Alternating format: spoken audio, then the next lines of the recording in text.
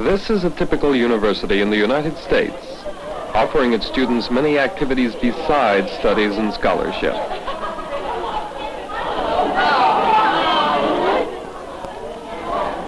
The American University calls its grounds campus, implying an area where many things take place beyond the classroom. There are 3,500 students on this campus. There are 76 clubs and organizations. Americans believe this should be so. It's part of learning the social graces. Here, a candidate for the traditional student assembly attempts to draw the attention of his fellow students to issues he imagines are vital. Fourth, to renew interest in the welfare of each new freshman class. We must guide them by our, our good example along the lines of university pride. We must also remember that their evaluation of Loyola is determined by our attitude toward Loyola. If we actually got down to assist the freshmen when, when they came to this university, if we gave them something to be proud of, in four years we'd have hardly any problems. We wouldn't have a, an incompetent student body as we have today. We'd have more people out here listening instead of sitting down or out in the cafeteria.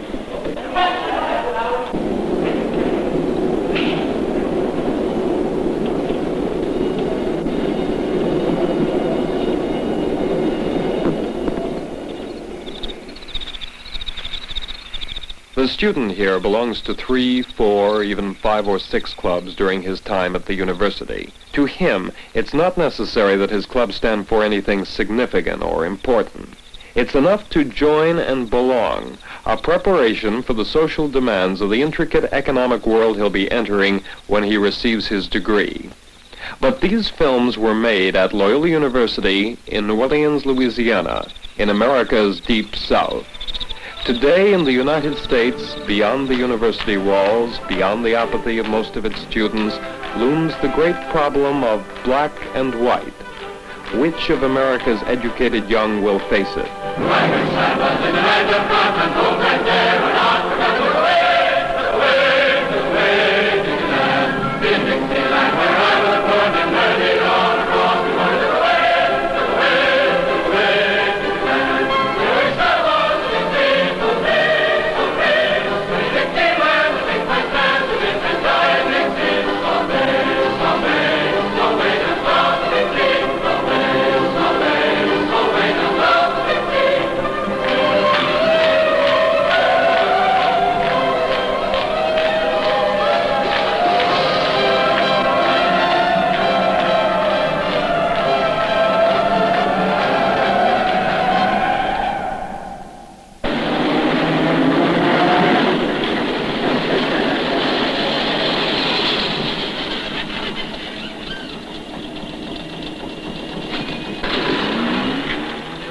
Twenty-year-old Kathy Barrett was once a student at Loyola University. Now when she visits this Jesuit school, it's as a worker and organizer for SOC, the Southern Student Organizing Committee.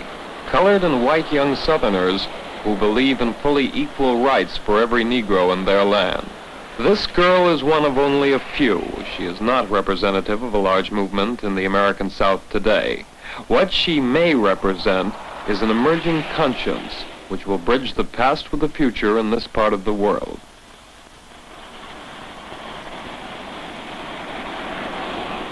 But if you asked the Southerner, he would say that this is impossible, that a Southern girl from a good family, successfully studying at a good college, would break off her education to become totally involved with the civil rights movement that the Old South considers alien and disruptive by its very existence.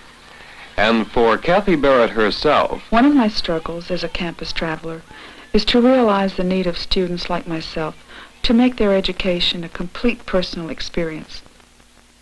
I know that lots of times when myself or my friends are meeting Negroes in the movement for the first time, they'll hear the Southern accent and come up and ask, Where are you from? You tell them, and at first they don't really believe you.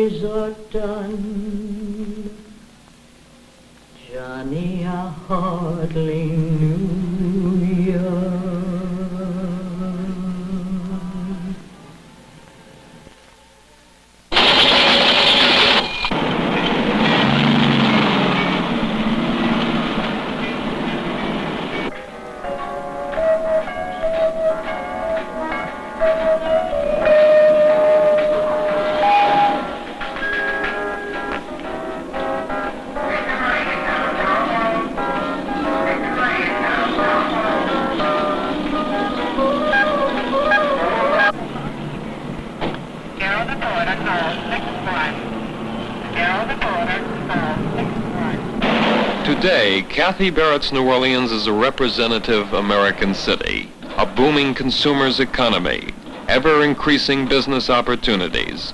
In fact, the economic foundations which made New Orleans a great cotton port and slave trading center have disappeared.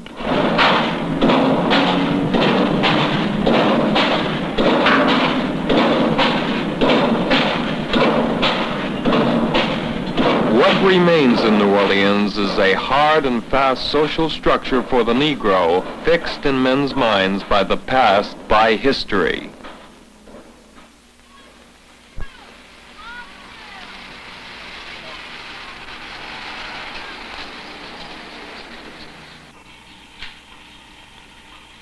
The students at Loyola, I feel, are very indifferent about the racial problem. They make up a part of the society that have the attitude that I would call moderate, which means to me that they don't care, attempt to make a decision about civil rights issue. Loyola is a very typical university in the sense that everyone there doesn't think like the majority. Some of the students at Loyola, a small group of students, are very much involved in expressing their opinions about the civil rights issue and acting on those opinions. Is there integration now in Louisiana? I wouldn't say there is integration in Louisiana. In Louisiana, we have what might be called token integration or desegregation in a couple of the schools and a couple of the parishes and some desegregation of public accommodations. Kathy, what is SOC? SOC is the Southern Student Organizing Committee, an intercollegiate, interracial organization composed of campus group affiliates. These campus groups are made up of students in school who are concerned about issues such as civil rights, peace, poverty, university reform, and how to deal with these issues. What is nonviolence? Nonviolence to me and to some people is an expression of love lived as a way of life in everyday moments from one situation to the next. It is a way of life embodied an attitude that refuses to fight back when attacked. Don't these people know how to protect themselves? People who use nonviolence in the movement or who believe in nonviolence also have learned a way of self-protection. A friend of mine in Hattiesburg who works with COFO was, this is sort of an example of nonviolence, was stopped one night by the police and they asked him to get out of the car and began beating, beating on him. And he protected his body the way that he was taught to protect his body in the movement. This is how you do it.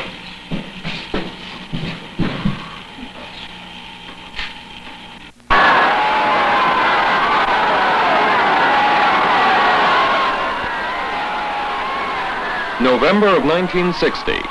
These are scenes of white New Orleans mothers and youngsters. They are protesting the first desegregation of two New Orleans public schools. They succeeded in giving their city a bad mark around the world. They rioted against the small Negro children in front of the New Orleans City Hall and in the downtown streets until the police were called out to keep order. And at this same time, the Louisiana State Legislature to the north in Baton Rouge tried to close the public schools. Failing this, they gave sanction to dozens of private white segregated schools by giving grants of money to the protesting parents.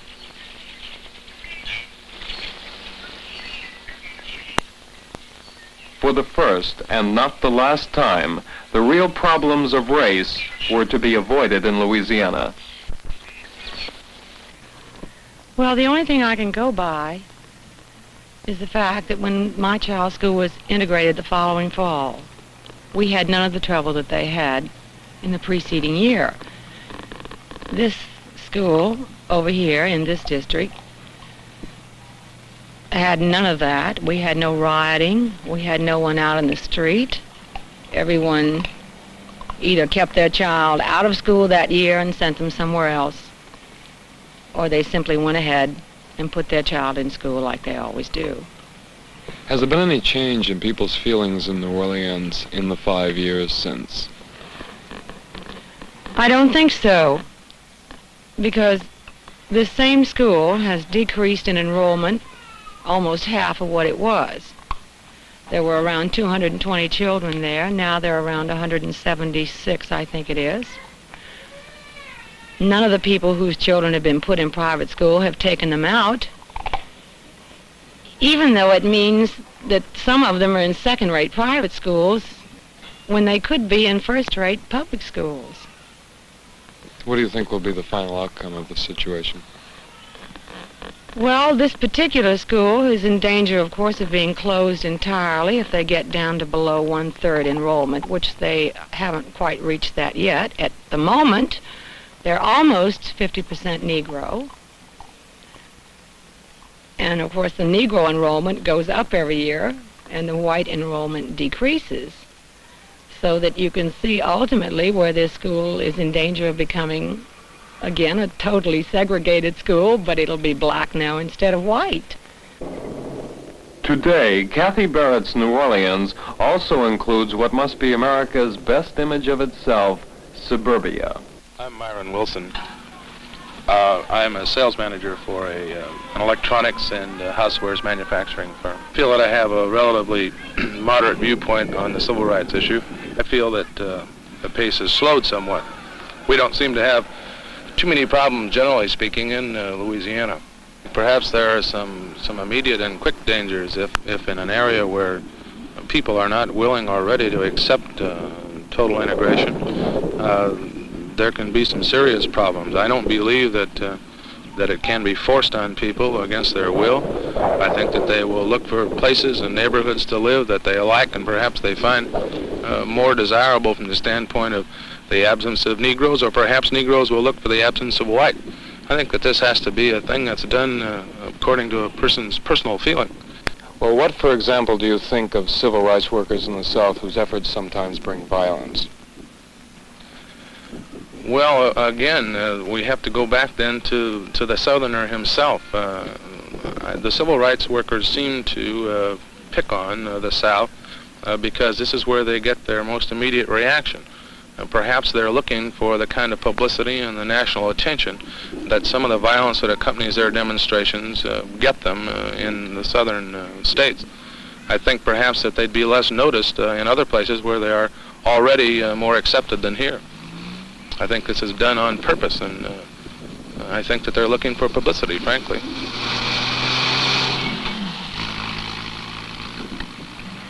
Well, I think they're pressing a little too hard. The Negroes are trying to take over. I think they should be slowed down. Are there recent events which make you think this?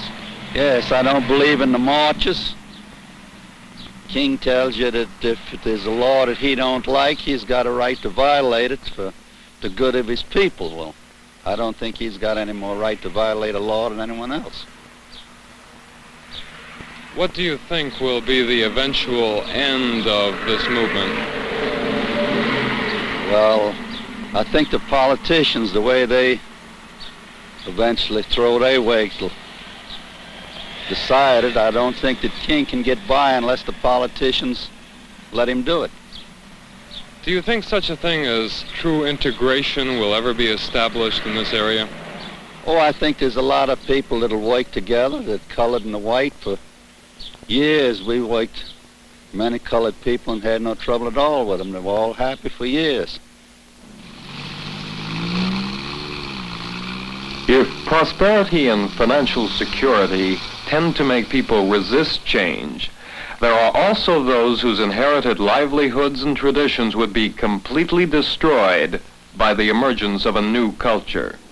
Without setting ourselves up as a model, I would like to, as far as we can go, recommend to all of you that you follow the pattern that has been set in Little Rock, Arkansas.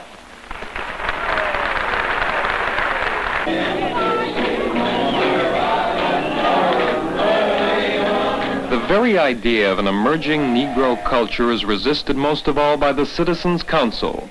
Its intention is to keep the Negro, 32% of Louisiana's population, from gaining a status equal to the white.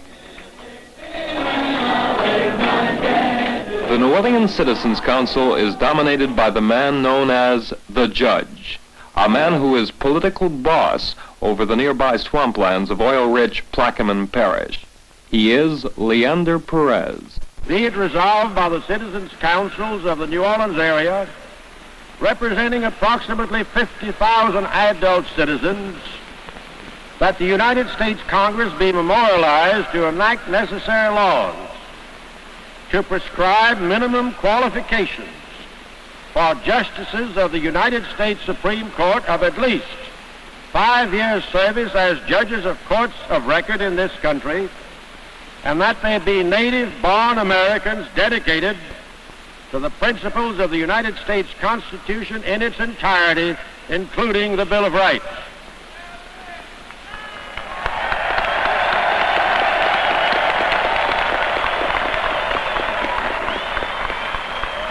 All in favor of adopting that resolution and sending copies to the judges of the Supreme Court and members of the United States Congress, say yes. Thank you, my friends, and that will be done with your authority.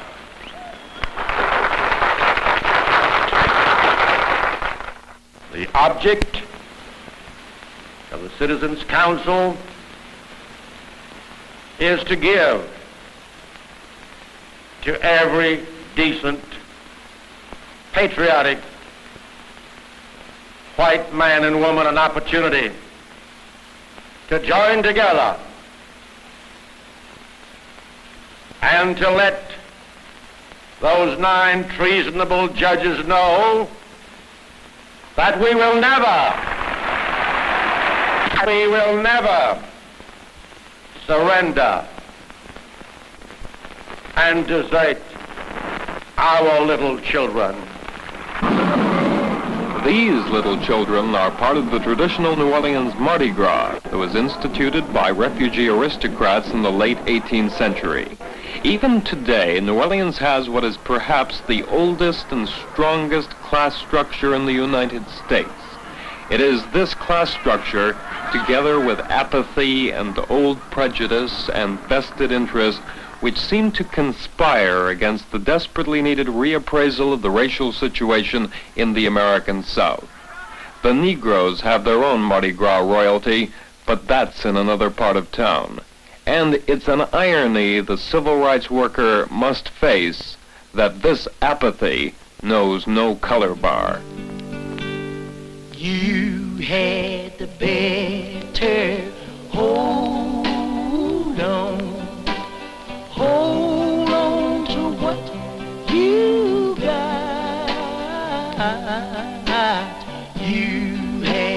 Had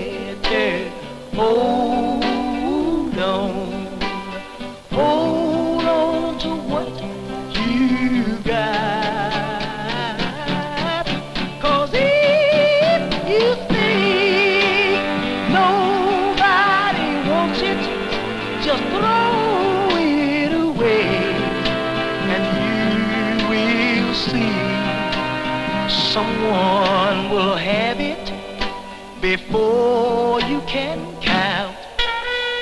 One, two, three. Yes, they will. Yes, they will. Listen, fellas. You know it's not all the time that a man can have a good woman. A woman that he can call his very own. A woman who will stay right there at home and mind the children while he's going to work. A woman who will have his dinner cooked when he comes home. Where some men make mistakes when they go out and stay because they feel that no other man wants his woman but him. But listen, if you think no other man wants her, just throw her away and you will see some man will have her before you can count. One, two, three. Yes, they will. Yes, he will.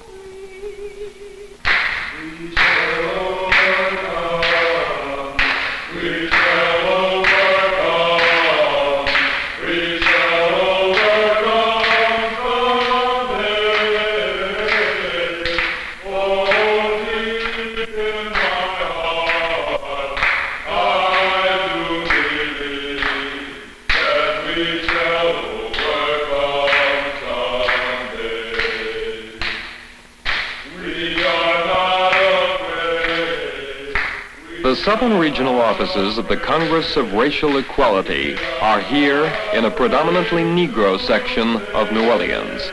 This is one of a dozen civil rights organizations, all of them in loose cooperation, aiming to bring equality to the Negro through voter registration, equal legal rights, employment opportunities, and education.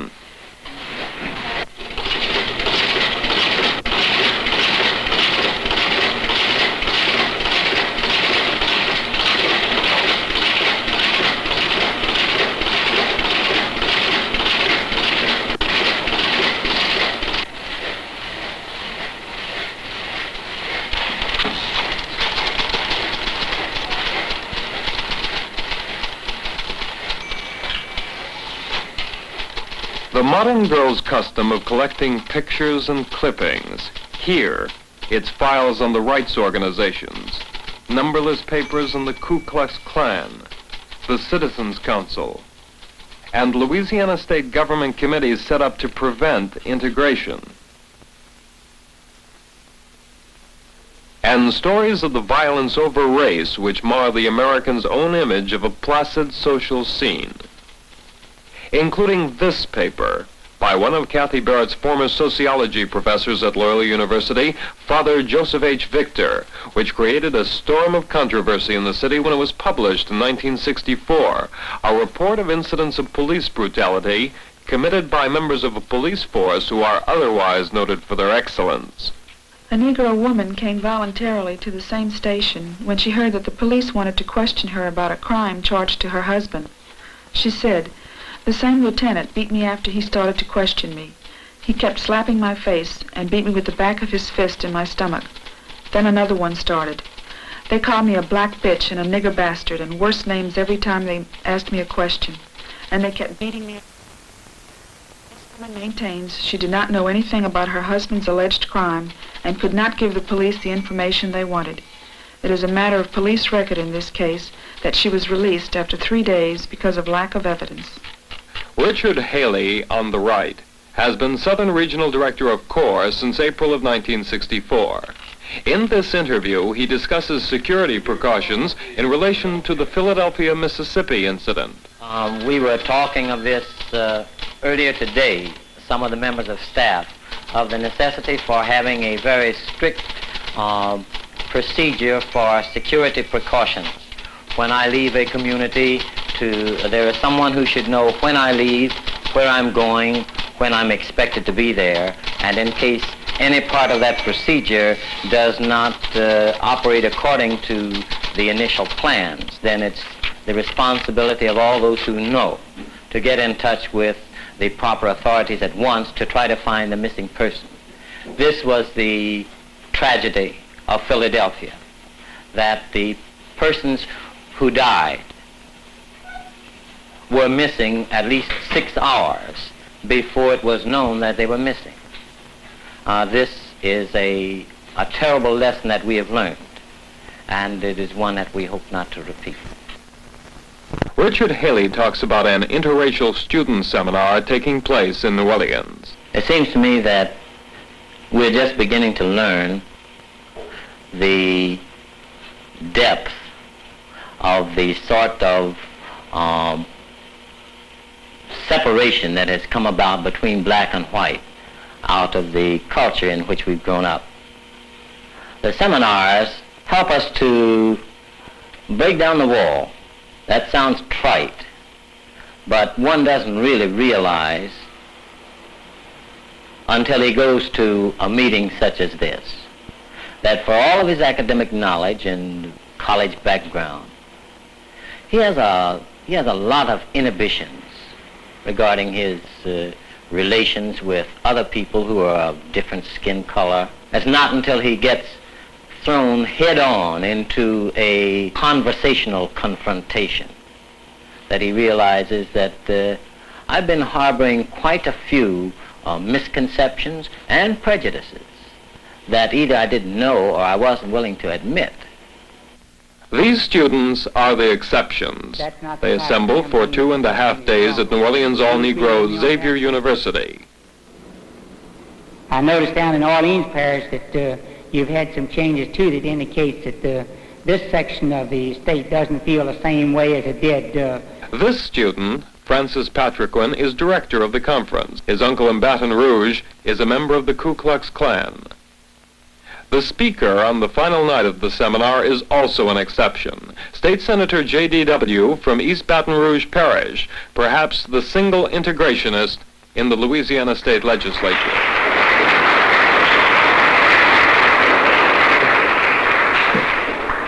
If everybody gets into a car, we can find out how many people need a ride. Whatever, these students do play out their daily lives according to their vision of a completely integrated society. And this is hard. There are few places they can go together after their seminar. What makes it doubly hard is that their contemporaries think the civil rights workers are at best starry-eyed idealists.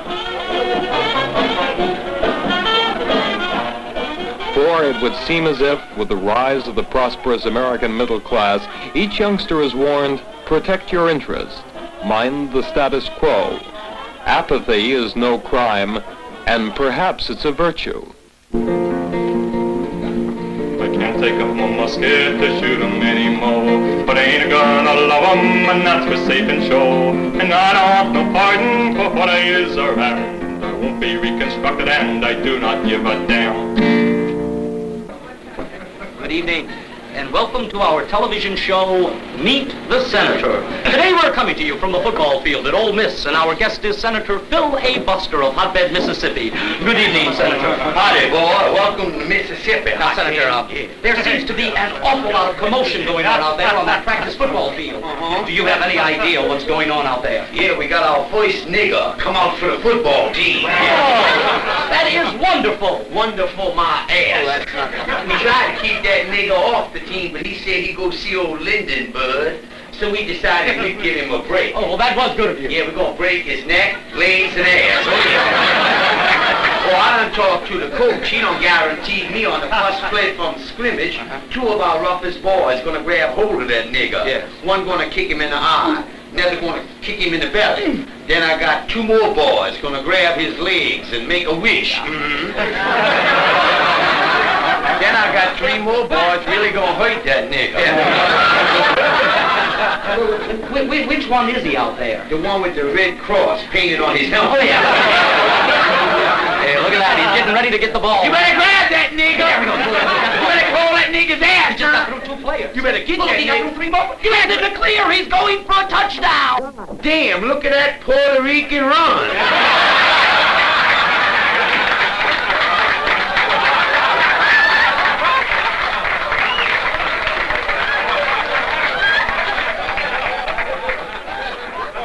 Senator, tell me.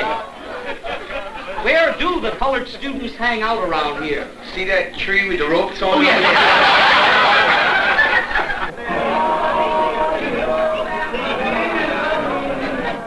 Just below the New Orleans French Quarter, in the district Tennessee Williams used for the setting of Streetcar Named Desire, is this bar and dancing spot, the Dream Castle. A city ordinance forbids mixed groups from drinking under the same roof.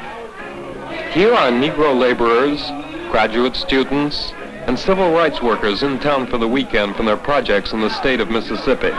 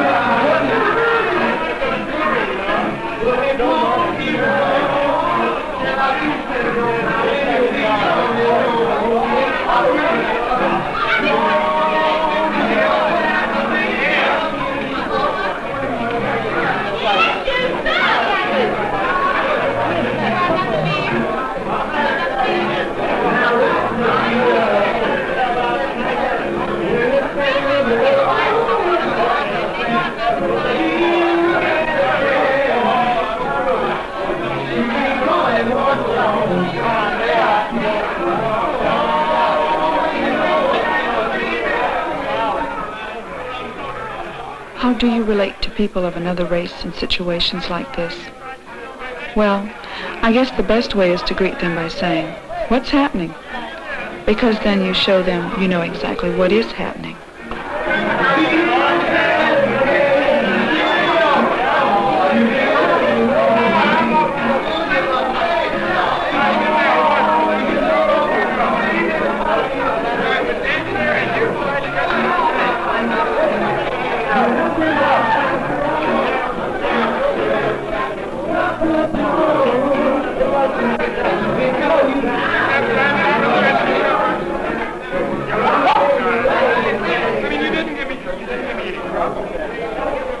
There's so much work for everybody in the movement in the South now. I'm responsible for visiting all the campuses in Louisiana and Arkansas for SSOC. Today, I'm off to Lafayette and the University of Southwestern Louisiana. Kathy Barrett, SSOC campus traveler, departs on one of her tours of southern universities. She'll meet opinion very much at odds with those of reform, of change. Even here in New Orleans at Loyola University, the challenge comes not directed so much at the cause of reform, but at the spirit and motive of those who work for it. There are the young who are rather naive and emotional. They mean well, their intentions are good, and they do not see that more harm than good is coming by pushing these demonstrations to the extreme, violating the rights of peace-loving people, such as lying in the streets, uh, uh, even, for example, uh, disturbing public order.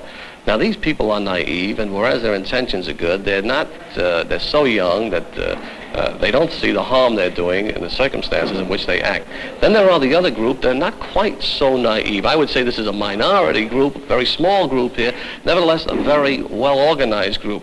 These people are those who are malicious in their intention to get their ends. Uh, one of them, I would not like to mention his name, has mentioned the fact that we are going to bring out the worst in the white man.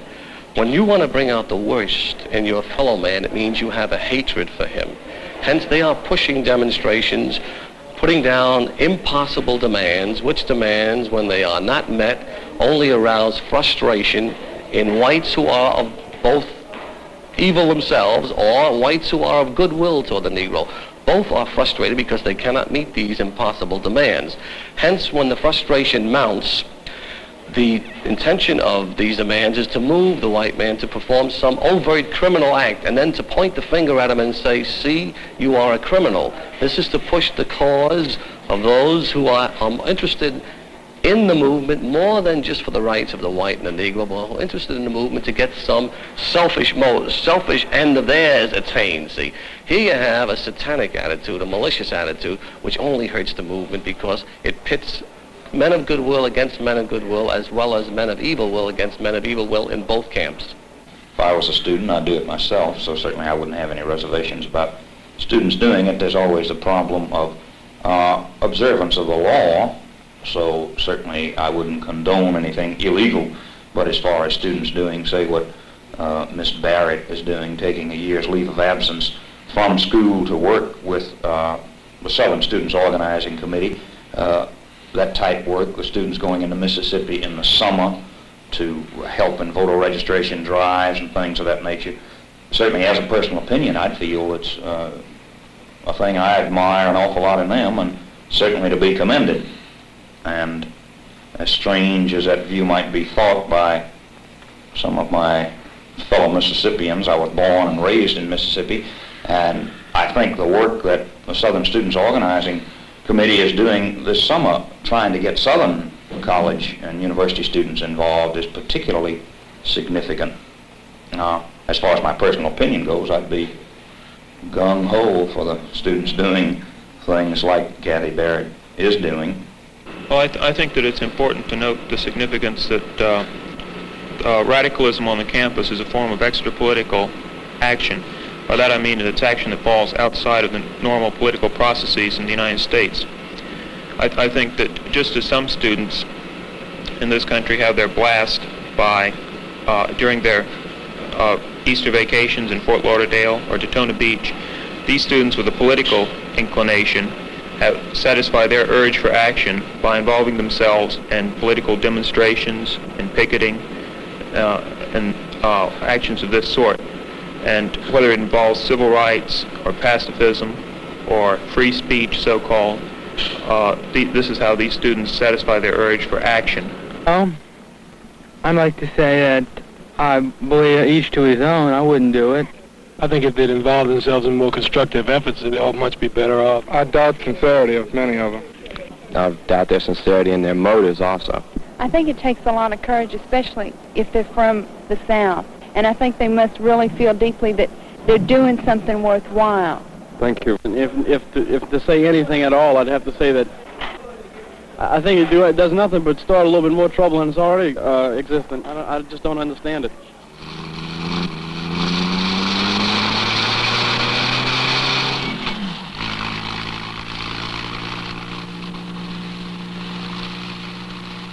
This is the Mississippi River as it winds its way to the Gulf of Mexico. The river has changed its course many times since the days of the Spanish and French conquerors. In the midst of these snake and mosquito-infested swamps lies an old Spanish fort built to stand guard on the river which has since wandered away. Fort St. Philip is in Plaquemines Parish, ruled over by Citizens Council leader Leander Perez. Here in 1963, Judge Perez proudly led newsmen on a tour of the fort, now prepared for those who wish to demonstrate against the status quo. This is not set up for Negroes so that this little rat, Bobby Kennedy, can use the 14th Amendment on us. This is set up for demonstrators, white and black.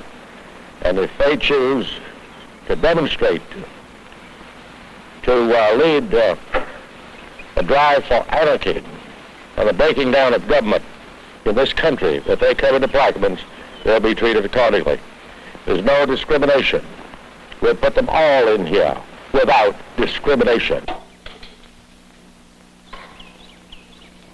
Leander Perez, with all his irony, could be considered an amusing public figure, except for the disturbing rumors about the New Orleans area of how Negroes in Plaquemines can totally disappear in the night, never to be seen again.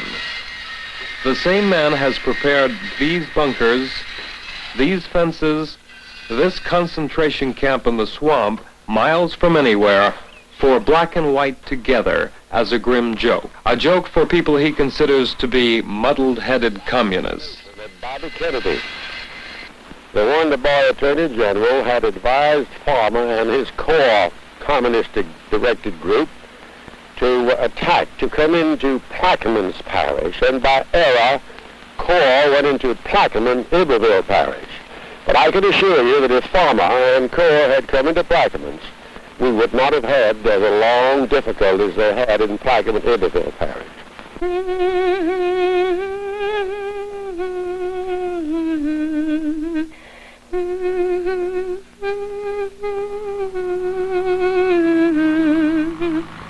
Kathy Barrett skirts Plaquemines Parish. She doesn't go there. It is perhaps the most dangerous single place for civil rights workers in the South. But she and all the civil rights workers say they'll go there someday, someday soon.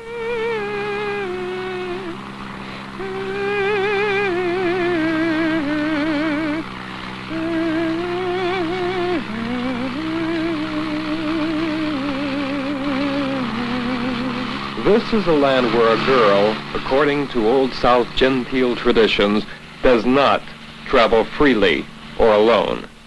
Kathy's tour takes her first through White Castle, a small Louisiana town where her father happens to be principal of the one white school. The family actually lives in Baton Rouge.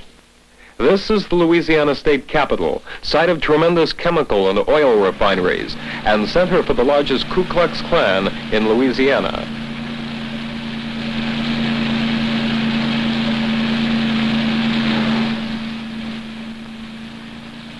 Kathy grew up here in a modest residential district. Her sister's a high school senior. Because of Kathy's civil rights work, Mr. and Mrs. Barrett now get to see their daughter only occasionally. As for her parents, who are born and bred Southerners, and their feeling about their daughter's work, Initially, when Kathy got interested in this work on a uh, real active basis, um, I was concerned about uh, what the reaction of my family would be and what uh, people who were associated with my husband and his uh, career or profession would think. But uh, more and more as uh, Kathy has gotten involved, uh, I have, you know, tended to be unconcerned about those things because I, I really think that uh, it's um, what is ultimately right that we all have to be concerned about and not what somebody else thinks about our situation or even what, how it would affect my life personally or my husband's career or profession. And uh, I don't think that uh, it makes any difference anymore what, what uh, I mean, as far as I'm personally concerned. If he were to lose his job tomorrow, we, we would find something else to do that would be better. I think Kathy's a born idealist and is ideally suited for this type of thing. This has always been the pattern of her behavior, I think, ever since she was a small child. Uh, I look upon this, uh, my generation, let's look back uh, a step. And in our case, I think what we did, we rationalized ourselves into a position of where we ignored the problem, said the Negro was happy, and we let it go at that. But these people are, are doing something. They're an extension of our conscience, if you want to look at it that way. The road from New Orleans leads 80 miles north to Baton Rouge, then turns west 86 miles to Lafayette, Louisiana. The further north you go from New Orleans, the deeper you get into the U.S. white Protestant South and into the Black Belt. Kathy Barrett's first stop, Southwestern Louisiana State University in Lafayette, attended primarily by students from the semi-urban and rural South. Here she'll meet with a group called the Ambassadors in an attempt to organize them as an affiliate of the Southern Student Organizing Committee. The ambassadors are an ordinary, well-behaved group of American students. They don't have extraordinary political or social views, but most of them feel a little apart from the mainstream of events on the campus because most of them are Negro. SSOC is made up of student groups like the ambassadors from colleges all over the South. There are approximately 100 affiliate groups now that have joined SSOC in some way or another. It's not a membership organization as such. Groups that have affiliation with SSOC are made up of at least five people, and they are voted into affiliation by the executive committee at the request of the local group. There is no group that makes decisions for any local body, so that the ambassadors, like the group that I belonged to when I was in school in New Orleans, remains relatively autonomous. But in your program, uh, you are going to run into problems that maybe you've never had to deal with before. And by keeping in contact with the other students through the newsletter and conferences, you can read or discuss with them the ways that they dealt with the problems that you are running into, and then make a decision yourself about how you want to deal with it bring up new ideas yourself and discuss the alternatives. So I think that it's pretty much left open to you now to ask me questions about SSOC and see if you want to take a stand at this meeting or just, you know, find out some more information about SSOC and we can discuss. You can let me know if you're interested in affiliating. Should students work for civil rights organizations? I don't believe a student should work for civil rights organizations. I just don't think so. Oh. oh. No, I don't think so. I would be definitely opposed to working for civil rights organizations. Definitely not. I don't believe so either. The temper of the Southern community is such that people here on the race question have to make a decision. It's very difficult for them to avoid it. To me, the hope lies in the younger generation.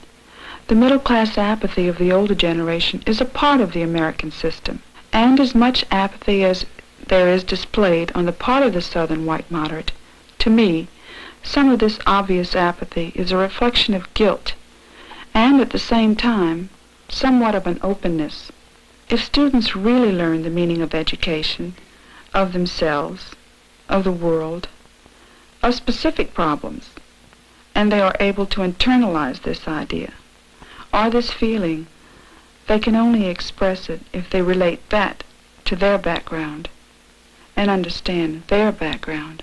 I concentrate on students who are concerned, who care, most of these students feel that education is meaningless if they're just learning to repeat what they've heard in class, writing down on a piece of paper and getting a grade for it. They feel that they're learning something about themselves. A young revolutionary temperament, simple youthful idealism, how much sacrifice is really involved for Southern white middle-class youngsters who emerge from their worlds into that of the Negro and of civil rights. This is summer in Jonesboro, Louisiana. These are friends of Kathy Barrett's picketing a grocery store which refuses to serve Negroes. anyone in the civil rights movement must face the possibility, the commitment of conscience, which calls for a complete sacrifice of dignity in the name of principle. This is a garbage truck of the city of Jonesboro.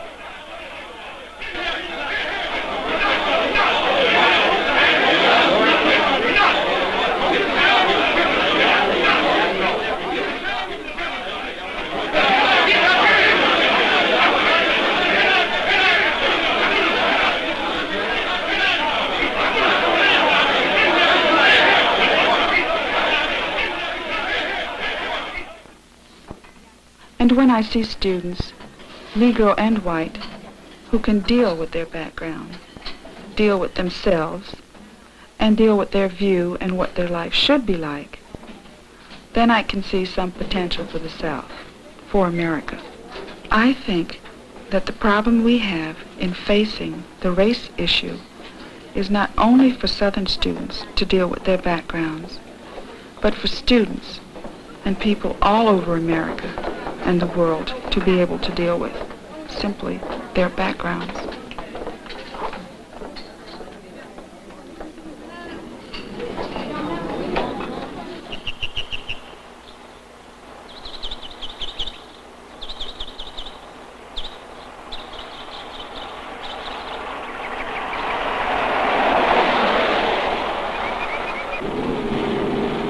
It would all but appear that the spirit of revolt has gone out of the prosperous American nation, founded itself on a revolution. Those who do revolt are considered by some traitors to their families and the way of life that brought them into existence.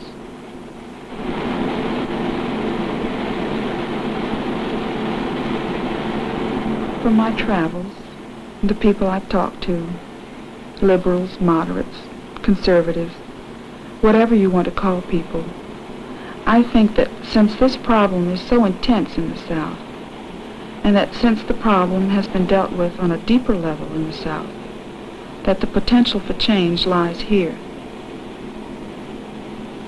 If the white Southerners and Southern Negroes can be called on to make a decision, if they can be educated, they can deal with the race problem here in the South.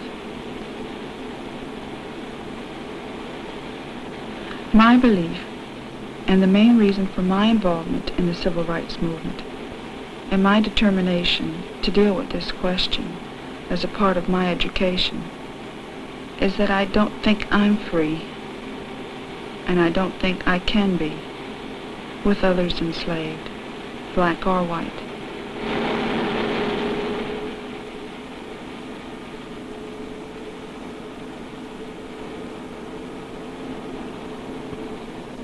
My struggle with the people of America and in faith with the people of the world is to establish democracy here and now.